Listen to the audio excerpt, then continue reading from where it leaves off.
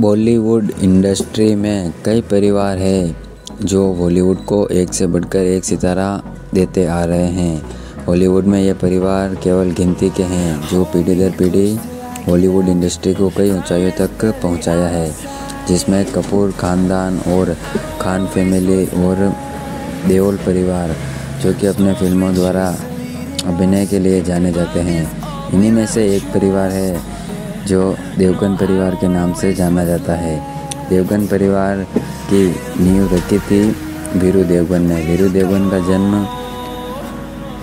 1934 को अमृतसर, पंजाब में हुआ। उनकी रुचि शुरू से ही फ़िल्मों में रही। इसी कारण वे अपने दोस्तों के साथ मुंबई आए। शुरुआत में इनको काफ़ी संघर्ष करना पड़ा और कई अन्य काम करने पड़े और मुंबई के कई स्टूडियो में चक्कर लगाने के बाद इन्हें असिस्टेंट एक्शन डायरेक्टर का काम मिला और इन्होंने अपनी पहचान एक्शन डायरेक्टर से ही बनाई। शुरू से ही ये एक हीरो बनना चाहते थे, पर उस समय अमिताभ बच्चन और धर्मेंद्र देओल जैसे दिग्गज अभिनेता के साथ इन्होंने अपनी इच्छा को त्याग दिया और अपने बड़े बेटे अजय देवगन को हीरो बनाने का फैसला किया।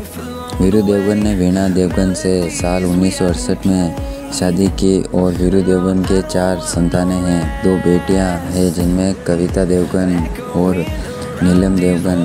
व दो बड़े बेटे अजय देवगन व अनिल देवगन हैं। इस समय अजय देवगन एक एक्टर के तौर पर जाने जाते हैं और वहीं उनके छोटे बेटे अनिल देवगन अपने पिता की विरासत को आगे बढ़ाते हुए असिस्टेंट डायरेक्टर का कार्य करते हैं।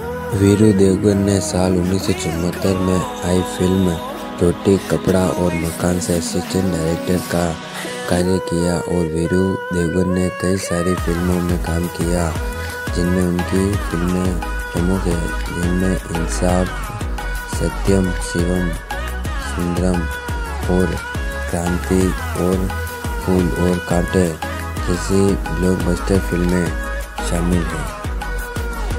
वीरू देवगन, चौरासी साल की उम्र में मई 2019 को दुनिया को अलविदा कर दिया।